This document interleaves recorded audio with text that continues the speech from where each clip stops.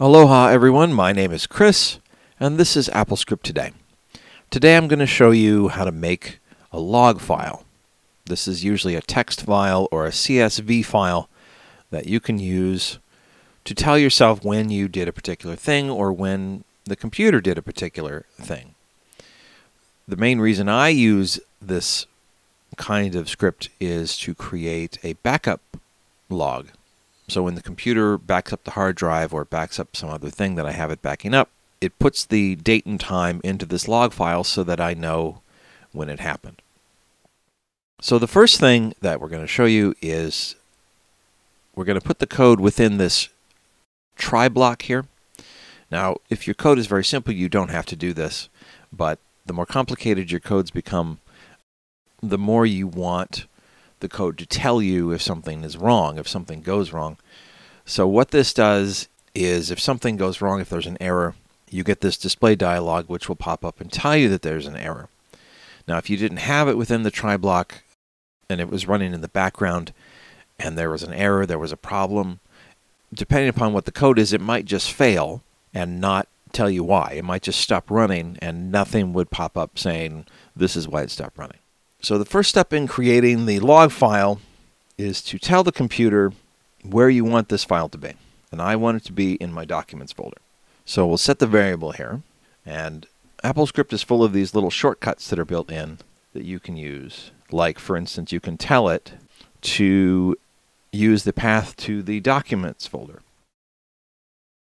which it knows what that is. So you don't have to type out username colon something colon something colon documents. You can just do this. But we also want to put the file name in here. The example that I'm using, uh, I use the year. So I have all my backups for the year in one file. So we will say the uh, current year. Now you could just hard code this in here what the current year is, but AppleScript has a lot of things you can do with dates. So we will tell it to get the year of the current date, and this is going to be a text file. So we'll say dot text. And all of this as one string. And so if we run this, just to see what this returns,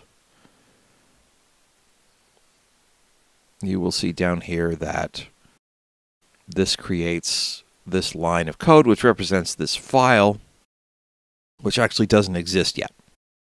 We're going to say if the file doesn't exist, because if the file doesn't exist, then we want the computer to create it. So then we need this line of code here, and then we need to, which opens the file, and then we need to close. All that does is create the file and tell the computer that we're now uh, ready to write to it, and then you close access so that you can then actually go on to another line of code and actually write something in it. If a current if, if a file for this year doesn't exist, then it will create one. If it does exist, if it already exists, then this won't do anything. For instance, as I showed you right now in the documents, there's nothing in there. So if we go over here and run this,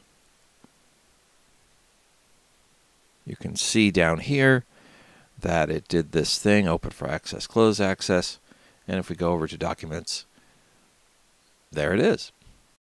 So now that we have determined that there is or isn't a file there to write to, the next thing we're going to do is tell the computer what we want to put in this file. So as I said, I use this primarily to show when a backup was done. And I like to do the current date and time. Now there's a lot you can do with date and time in AppleScript, but there's also a lot you can do with date and time in shell scripts. So we have this line of code which does a shell script, sets a variable to this shell script. So this looks more complicated than it is. It's just gives you the date and the time, and, and I'll show you what I mean if I just run it. What this code, all this complicated looking code did was give you today's date and today's time right there. Next, we have to actually tell the computer to put this time into this file. So this is another shell script. And all this is saying is that we want to put the time, we're going to echo the time. And then we need these little arrows here. And then we need to tell it what file to write this information into. We need to tell it to go to the POSIX path, which is the shell scripts way of understanding where it is, which is different from the Mac Finder way of understanding. And the other thing I'm doing here is using the quoted form of these things, and sometimes you you have to do this and sometimes you don't. I normally just do this because that will take care of any spaces. If there are spaces in this line of characters or in this line of characters, the telling it it's the quoted form means to include all those spaces too, because sometimes shell scripts interpret spaces as meaning something else. So now if we run this, this will create this file. It will figure out what time it is, and it will put that time into this file. So let's do that. And so if we go over here to Documents, you see that it created the file, and you see right there that I now know that the computer ran a backup today at this time. If we do it again, it will just add another line underneath this. So it's still the same date, but now we did a few seconds later. And I could go on doing this. And there we go. So that's a very simple way to create a log file. In this instance, showing you when, at what date and time you did a particular thing. As I said, I use this primarily for backups. But there are other things you can use this kind of code for. And so let's show you one more example of that. So another thing you could use this code to do is to create a file that specifically tells you what date and time you did a particular thing, but maybe it's not going to be the same thing every time. Maybe you're working on a project, you're working on a document, you're doing you're doing something and you want to say that okay, at this date and time I did this.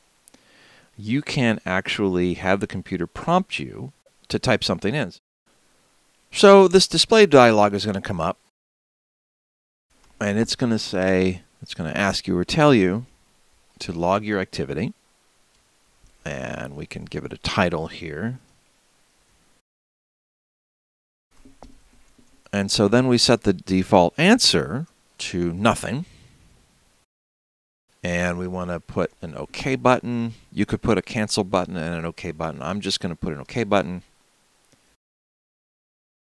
And we want to use the caution icon. So this will pop up and ask us to type in something.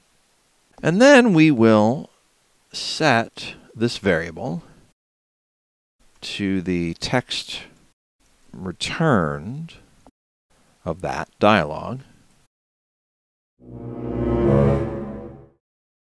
And then we will set the final text that we want in this file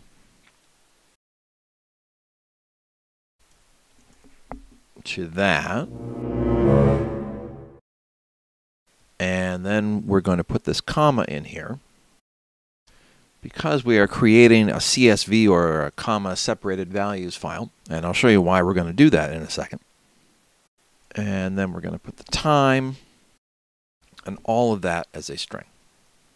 Then we will tell the computer to put that into this file. So if we've done this correctly, it will create the CSV file, which does not exist yet. And then the next time you run this script, when it sees that it does exist, it won't, it won't do anything. So then we'll get the time, and then we'll say what we uh, want to log, what activity we want to log, and then we will put that activity with the time we did it, and that will go into this CSV file, and you'll see what that looks like in the Finder. So let's run this and see what happens. So my activity was that I edited some text. And we say OK. And go over here. And now this is this new CSV file that we just created. You can see that it looks like that. But if I hit the space bar to do a quick view, you will see that it gives us this neat little thing where you remember that comma, right? So here's where that comma was. It displays, that's what we typed in for uh, our activity, and that's the time. So now I don't have to remember that I did on this project that I'm working on, this particular thing. I can just go and see what I did. Now this is useful for a lot of uh, reasons. Let's run it again so it shows you uh, adding a second line here. So let's say this time I answered Bob's email. And we go back over to documents, and now you see that that's in there. And if I spacebar that to see it, you can now see I have this nice thing that I can very easily read and see what I did and when I did it. So that is a couple of variations of creating a log file. And you can play around with that and see what you want to do with it. Until the next time, my name is Chris, and this has been AppleScript Today. Thank you very much.